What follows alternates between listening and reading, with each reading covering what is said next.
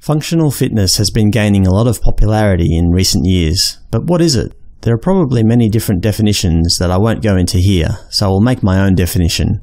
Functional fitness involves any exercise that helps you, or could potentially help you, in your daily endeavours. It's realistic fitness. Not just fitness to get big muscles, but fitness that could help you do something in a realistic scenario. Functional exercises must also be able to be performed anywhere, or almost anywhere. That is, the exercises must rely on body weight, rather than expensive pieces of iron and steel. If you go to a gym, the most talked about exercise, at least for men, is the bench press. The bench press involves lying on your back and pressing a weight upwards above your chest and shoulders. To me, this is not functional fitness. Sure, you might get big pecs. That might impress the ladies, but does it help you out in real life? My guess, if you're ever in a situation where you have been pushed to the ground and are lying on your back, you have already lost the fight. Maybe bench presses will help you push a would-be attacker off you, but quite frankly, I'd rather avoid being pushed to the ground than having to rely on my ability to press a large weight over my chest. My functional fitness exercises. What do I do for functional fitness? Here is a list of the exercises I try to do every second morning in the local park. For my days off, I go for a walk, whether it be walking to work or just walking for fun.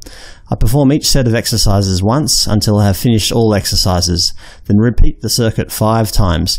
In doing so, though, I reduce the number of repetitions by one each time. So for example, if my starting number is 8, my next set would consist of 7 repetitions, followed by 6, 5, and 4.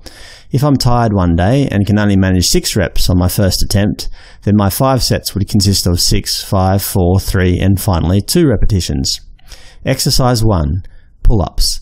This involves pulling yourself up to a bar so that your chin is above the bar. I usually use the children's play equipment, but you could easily use a horizontal tree branch as well. I know this is a hard exercise and not suitable for everybody, but I like pull-ups because they build upper as well as core body strength. On my first set, I do as many as I can in one go. This sets the number of exercises I will do for all following exercises. For example, at the moment I'm able to do 8 pull-ups, so 8 becomes my target number for all other exercises in the session. Over the 5 rounds, I will reduce the number of pull-ups I do by 1, so 8, 7, 6, 5 and 4 reps respectively. Exercise 2. Vertical jumps. This involves taking a run up and trying to touch an object above me. I currently try to touch a light fixture that is about 3 meters 10 feet from the ground, so about as high as a basketball hoop. I perform this exercise a number of times equal to the number of pull-ups I did previously, so usually 8 jumps. For each jump, I switch between using my left and right hand. For whatever reason, I find it harder to touch with my left hand than my right, as with my pull-ups, I reduce the number of reps each round, so 8, 7, 6, 5 and 4 jumps. Exercise 3. Handstands. Handstands are an awesome exercise. They involve tipping yourself upside down and balancing on just your hands. They require a lot of upper and core body strength to perform, and can be quite intimidating for people who haven't tried them in a long time. Not only do they improve your strength, they improve your balance. If you can't do freestanding handstands, you can always perform them against a wall to support yourself. I do freestanding ones for a number of seconds equal to 3 times my target number, so 24 seconds if I did 8 pull-ups. So over the 5 rounds, I will do them for 24, 21, 18, 15 and 12 seconds respectively. Exercise 4. Standing toe touches. Most friends my age, mid-30s, can't touch their toes, so I do these purely for my own flexibility, and to be able to brag a little. I perform them at the top of a set of stairs, so that I can reach past my toes.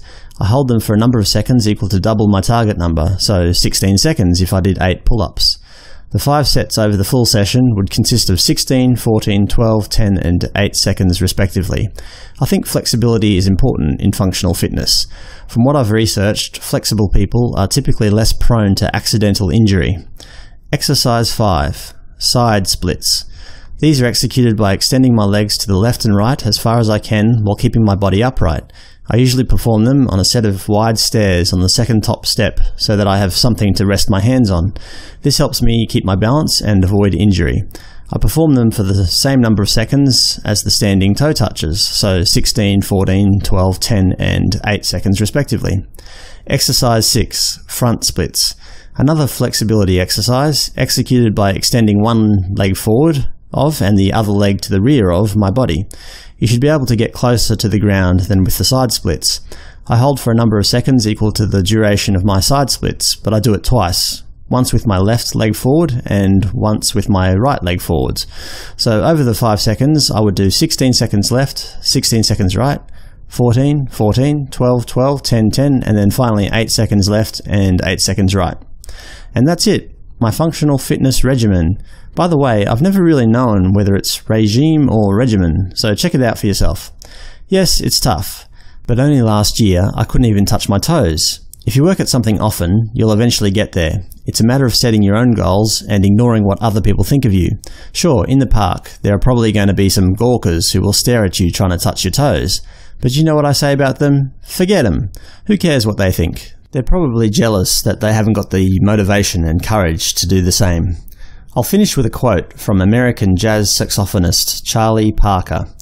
You've got to learn your instrument, then you practice, practice, practice. And then, when you finally get up there on the bandstand, forget all that and just wail.